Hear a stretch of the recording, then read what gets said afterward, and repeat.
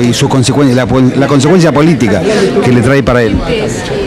Bueno, la consecuencia política la vamos a ver con el tiempo. Yo creo que él ha generado un, un, hecho político que sin lugar a duda tiene mucha audacia. Ha admitido públicamente que se equivocó en su estrategia o que por lo menos no fue compartida por la mayoría de los sectores de su propio partido y especialmente del FREPASO. Es un hombre que tiene una gran capacidad de recuperación, una gran capacidad de trabajo y, solamente el tiempo dirá si fue acertada su decisión o no. En general yo creo que en tiempos de donde desde la política no se dan señales de renunciamiento, esta es una jugada fuerte de Bordón y sé que tiene una gran capacidad de recuperación que seguramente lo lleva a remontar la caída en la opinión pública que tuvo a raíz de lo que fue la conducta que tuvo con el tema de Belis y el FREPAS. Los comentarios que ustedes realizan entre sí, entre las especulaciones que trazan, eh, ¿contemplan la posibilidad de que él vuelva al justicialismo?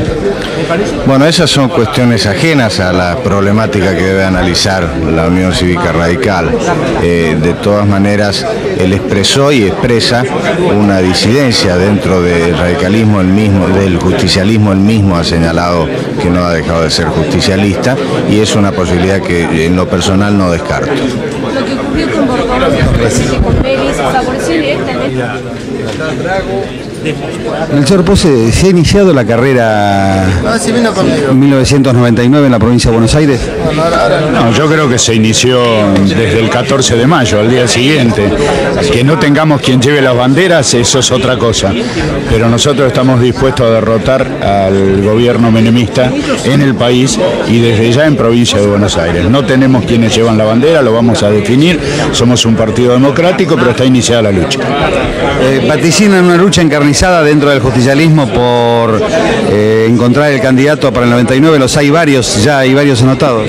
No, yo no tengo duda que, que Menem y, y Dualde van a tener problemas en Buenos Aires. Eso más que un equipo es un conjunto de individualidades.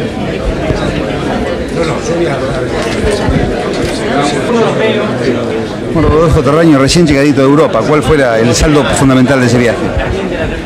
Creo que las entrevistas que he mantenido, entrevistas tan importantes como la que tuve con el presidente del Bundesbank, con el ministro de Economía de Alemania, con eh, el secretario de Estado, eh, la participación en la audiencia papal, los contactos en el Vaticano, todo eso bueno, me han permitido, por un lado, eh, transmitir la, la imagen de un radicalismo que se prepara para eh, disputar el gobierno en el 99 y para gobernar a partir del 99.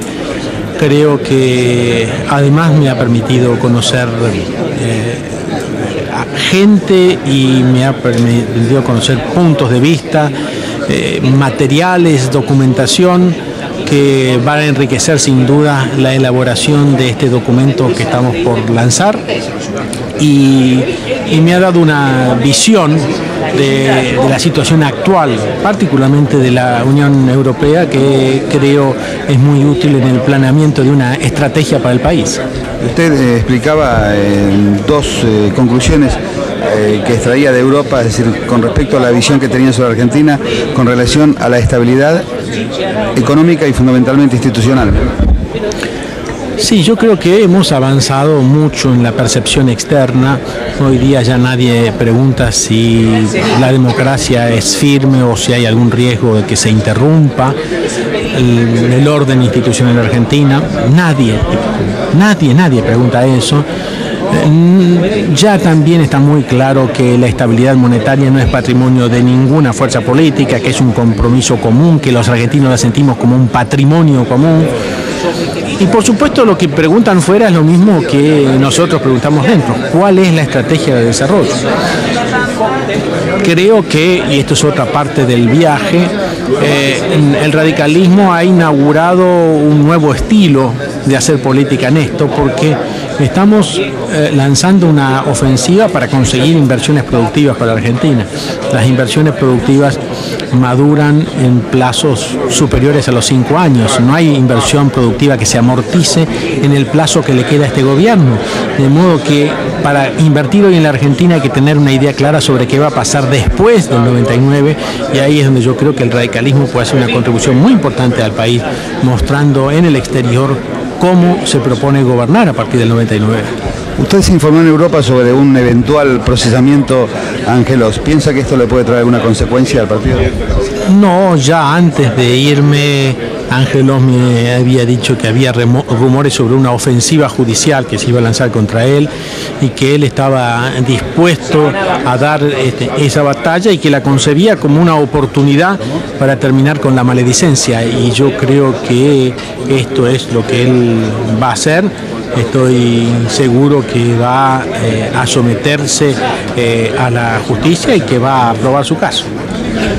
De la Rúa inaugura un nuevo lema, ustedes se van a encolumnar todos detrás de él, ¿cuál va a ser el apoyo del partido hacia De la Rúa? El radicalismo está unánimemente eh, con De la Rúa, él va a ser el primer jefe de gobierno electo por los porteños y va a llegar a esa posición con el apoyo de todos, todos los radicales no hay una sola excepción. El radicalismo está firmemente detrás de su candidato.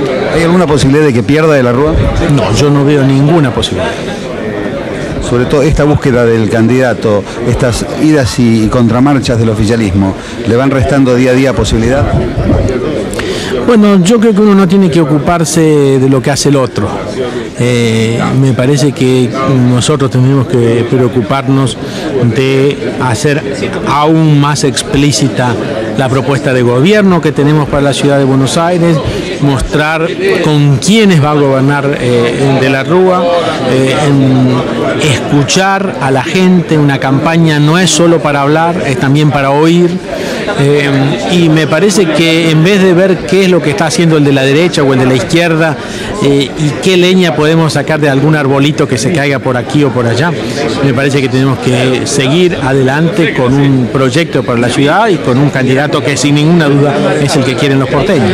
La última, Rodolfo Terraño, ustedes creo que como todos hablan eh, con relación a la necesidad de que eh, se implemente un plan de producción que, que, saque al país del estancamiento. ¿Cuándo van a presentar ustedes, o si es que la van a presentar, una propuesta formal, un plan de acción eh, relativamente detallado?